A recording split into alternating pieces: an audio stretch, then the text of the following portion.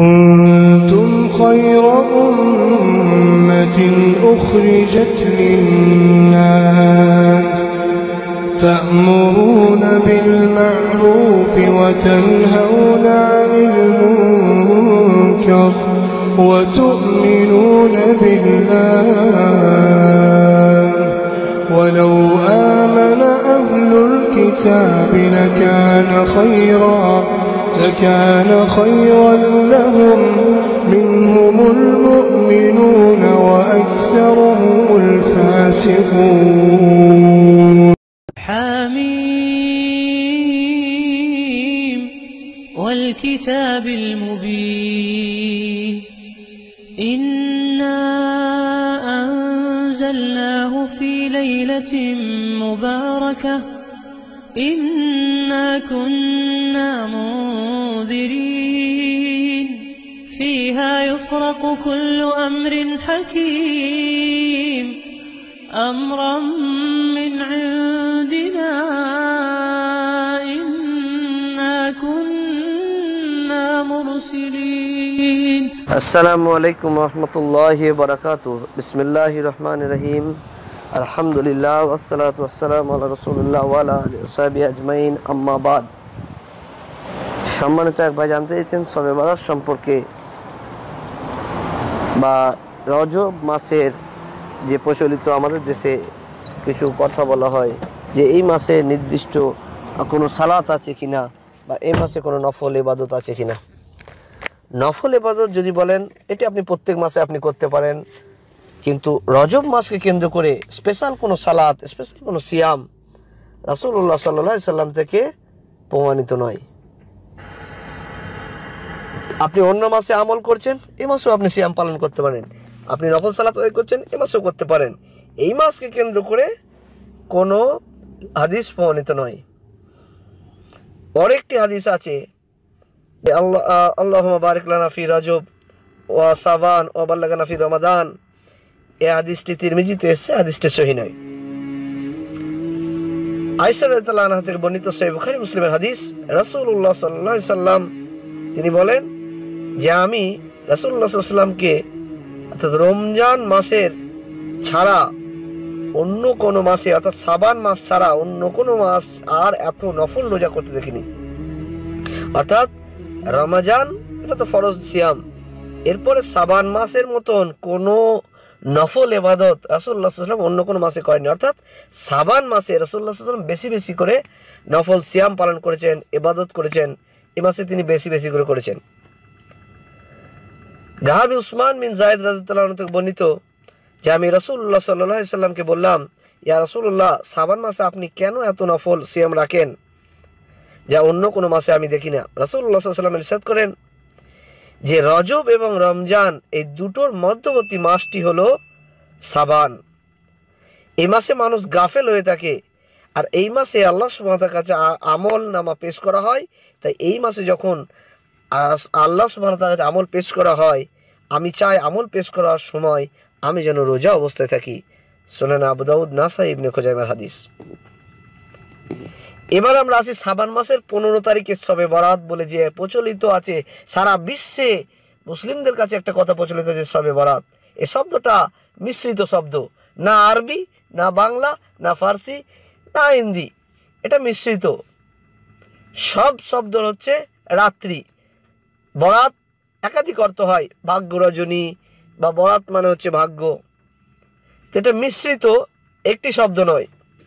কেউ কেউ এর তর্জমা করেছেন যে ভাগ্য রজনী, কেউ কেউ করেছেন ভাগ্যের লিখন।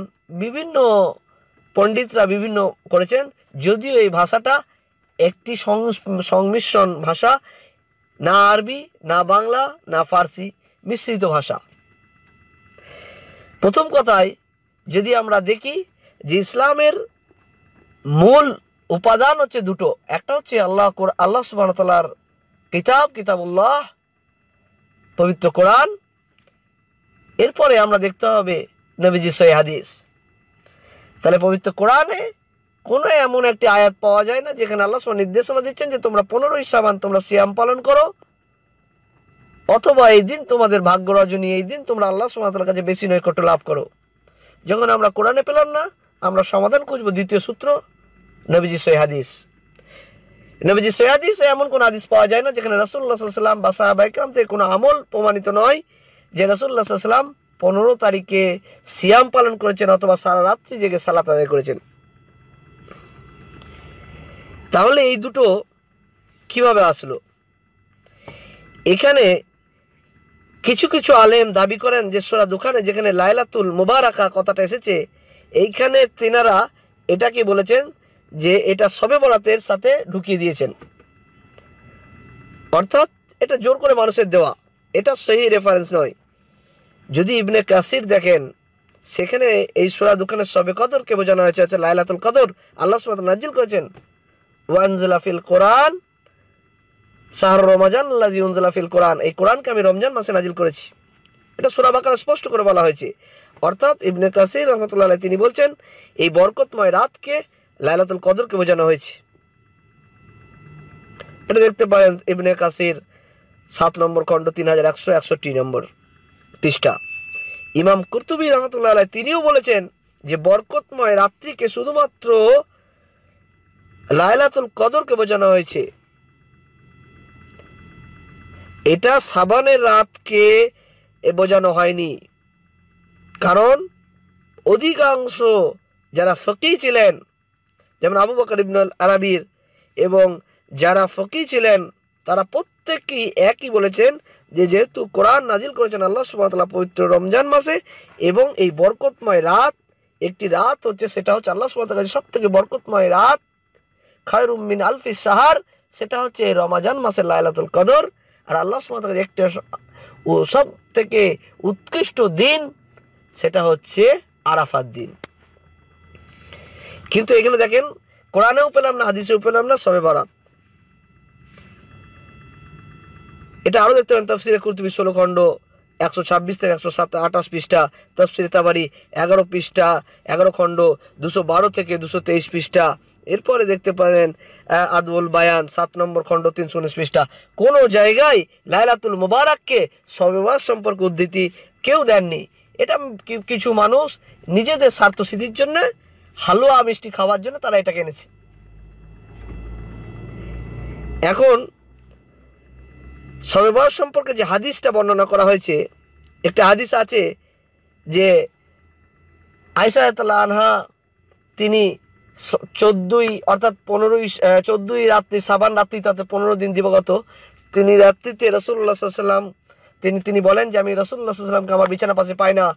আমি গিয়ে দেখি যে মাকবরা, গারকাতুল বাকি কবরস্থানে তিনি আছেন। তখন আমি জিজ্ঞাসা করলাম যে, ইয়া রসুল্লাহ আপনি কেন এখানে? তখন বলেন "এ আচ্ছা তুমি কি জানো? এই রাত্রিতে আল্লাহ গুনাখাতকে ক্ষমা করে দেন। এই রাত্রিতে আমাদের ভাগ্য পরিবর্তন করা হয়। এখানে একটা হাদিস কি আপনি ফলো করেন? আপনার মনে কত প্রশ্ন? প্রথম কথা, যেখানে রাসুল্লাহ সাল্লাম নিষেধ করলেন মহিলাদের কবরে যাওয়ার জন্য, সেইখানে নবীর স্ত্রী কবরে গিয়ে রাসুল্লাহ সাল্লাম জিজ্ঞাসা করলেন, কত বড় মিথ্যা? মান কাজিব আলাই মুতাআম্মিদান ফাতাবাহু মাকদাহু মিনান নার। যে ব্যক্তি নিজে থেকে হাদিস রচনা করল, রাসূলুল্লাহ সাল্লাল্লাহু বলছেন, তার ঠিকানা সে জাহান্নাম করে নিল। সহি বুখারী একশো আট, একশো নয়, একশো দশ এক হাজার দুশো একানব্বই নম্বর হাদিস। অর্থাৎ এই হাদিসটি জাল এবং মিথ্যা বানোয়াট এই সবে বরাতের হাদিস, এটাকে এনেছেন কিছু ইমামগণ। অর্থাৎ জয়ীফ, অথচ সহি হাদিস গ্রন্থে এ সম্পর্কে কোনো হাদিসই পাওয়া যায় না যে এই রাত্রিতে রসুল্লাহ সাল্লাম এই ধরনের এবাদতে তিনি লিপ্ত ছিলেন। এরপরে ইবনে মাজায় আর একটা হাদিস আছে আলী রাতাল্লাহ থেকে বর্ণিত তিনি এই ছয়বাস সম্পর্কে বলেছেন যে রসুল্লাহ সাল্লাম বলেছেন, এই পনেরোই সাবান রাত্রিতে বেশি বেশি করে ইবাদত করে দিনে বেলা রোজা রাখো। এটাও সম্পূর্ণ একটা বানোয়াট হাদিস।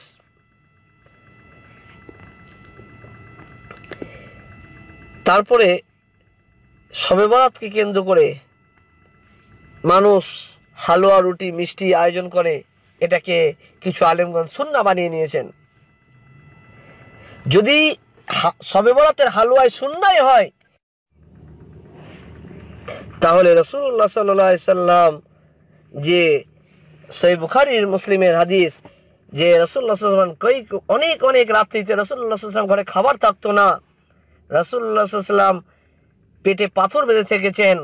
অনেক অনেক রাত্রিতে স্রেফ তামরু আল মায়া বলছে মুসাল্লাল কান আবিতুল্লাহ রসুল্লাহ সাল্লামের ঘরে কোনো অনেক অনেক দিন, একদিন নয় যে একদিন এসে অনেক অনেক দিন কোনো খাবার থাকতো না।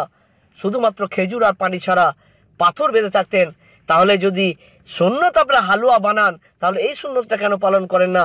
তখন যদি বলেন, এই আলেমরা বলবে যে হালুয়া খাওয়া মৌলবীদের কাম, পাথর বাঁধনা নবীদের কাম, সাহাবাদের কাম নাউজ আল্লাহ সমস্ত, এই সমস্ত আলেমদেরকে হেফাজত করুক। আজকে সারা বিশ্বের এই সমস্ত আলেমদের জন্য সারা বিশ্বের মুসলিম জর্জরিত পথভ্রষ্ট হচ্ছে এই সমস্ত আলেমদের জন্য। যখন তাদেরকে সঠিক কোরআন, হাদিসের জ্ঞান থাকা সত্ত্বেও মানুষকে গোপন করছে, মানুষকে বিভ্রান্ত করছে, শুধুমাত্র নিজের দুনিয়াতে বড় বক্তা বলবে, পর্থ কামানোর জন্য, পুঁজি করার জন্য, তাদের আখেরাতে কিচ্ছু নেই। আল্লাহ সুমাত উল্লেখ করেছেন, সোরা মোহাম্মদের সাতাশ থেকে আঠাশ নম্বর আয়াতে, এরপরে চব্বিশ থেকে একত্রিশ নম্বর আয়াতে এই সম্পর্কে আল্লাহ সুমাতাল্লাহ একাধিক আয়াত বর্ণনা করেছেন যে ওই সমস্ত মানুষদের জন্য দুর্ভোগ, ওই সমস্ত আলেমদের জন্য দুর্ভোগ, যারা কোরআন হাদিসের কথাকে বাদ দিয়ে নিজেদের কথাকে মানব সমাজে একটা আইন তৈরি করে, আল্লাহ সুমাতাল্লাহ বিধিবিধানকে বাদ দিয়ে নিজেদের মন গড়া আইনকে প্রচলন করে এবং বলে এটার উপর চলো, আল্লাহ সুমাত তাদের উপর লানত করবেন এবং কাল কেমন দিনে ফেরেস্তারা বুকে পিঠে মারতে মারতে দুনি তাদেরকে জাহান্নামের দিকে নিয়ে যাওয়া হবে। ওই সমস্ত আলেমদের যারা এই ধরনের কাজ করে। আর আল্লাহ সুমাতাল আরও বলেছেন, সোরা সুয়ারা দশ থেকে এগারো নম্বর আয়তে, যে আজকে যখন তোমাদের উপর বিপদ আসে, তোমাদের নিতে নিজেদের কৃতকর্মের জন্য বিপদ আসে। আজকে কেন কৃতকর্ম? আজকে আমরা কোরআন, হাদিস থেকে গাফেল, আমরা সত্যকে জানার পর মানি না, অহংকার। ওই আলেম বলেছে, তার কথা বলব, এত মানুষ কি ভুল? এত বছর ধরে সবাই বাড়তে হালুয়া রুটি খেয়ে আসি, আর আপনি বললেন সবাই বাড়তে হালুয়া রুটি খাওয়া যাবে না। আপনি তিন দিন সৌদি গিয়ে পণ্ডিত হয়ে গেছেন, আপনি বলছেন, এই ধরনের বলতে গেলে আমরা কথা শুনতে পাই। দুর্ভাগ্য এই সমস্ত মানুষদের জন্য যারা সঠিক কোরআন হাদিস জানার পরও মেনে নেয় না, অহংকার আল্লাহ তাদেরকে হেদায়ত দান করুক। আজকে শহীদের মাতম মানাচ্ছেন, হাসান হোসেনের মাতম বানানো হচ্ছে, তাজিয়া বার করা হচ্ছে। যদি তাজিয়া বার করা সুন্নত হতো রিস্তেদারিতে, তাহলে রসুল্লাহ সব থেকে নিকট তার জামাই উসমান রাজাতাল আনহু রসুল্লাহাম এক নয়, দুটো বেটি দিয়েছিলেন। তাকে শহীদ করা হয়েছিল, তার কেন তাজিয়া বার করেন না? যদি তাজিয়া বার করা সুন্নত হতো রসুল্লাহ সাল্লাম রিস্তেদারিতে রসুল সাল্লাম নিজের চাচা যখন সহুদে ওয়াহাদাতে স- ওই উহুদে গিয়ে দেখলেন যে চাচা শরীরকে বিচ্ছিন্ন করে দেওয়া হয়েছে, মুন্ড আলাগ জায়গায় আছে, বুককে ফেরে ফেলা হয়েছে, কলজে বাইরে পড়ে আছে, কলজে চিবি আছে রসুলাম কাঁদলেন আর বললেন, চাচা, যান। কাল কেমন পর্যন্ত যত শহীদ হবে, শহীদের মর্যাদা সর্দার হয়ে আপনি উঠবেন। তাহলে তার কেন তাজিয়া বার করা হয় না? ইমাম হাসান হোসেনের যদি বার করে থাকেন, তাহলে উসমান রায়তুল্লাহনু কেন বার করেন না? চাচা হানজাল রায়তুল্লাহনু কেন বার করা হয় না? তাদের কাছে কোনো জবাব নেই। তাদের শুধুমাত্র দুনিয়া সিদ্ধির জন্য, হালুয়া খাওয়ার জন্য, এই বানোয়া কেচ্ছা কাহিনীতে ভরিয়ে মানুষকে বিভ্রান্ত করছে এই সমস্ত আলেম। আল্লাহ তাদেরকে হেদায়ত দান করুক। আল্লাহ ওই সমস্ত মানুষকে, মানুষের কাছ থেকে ক্ষতিগ্রস্ত মানুষদের আল্লাহ হেফাজত করুক, তাদেরকে সেই বুঝদান করুক।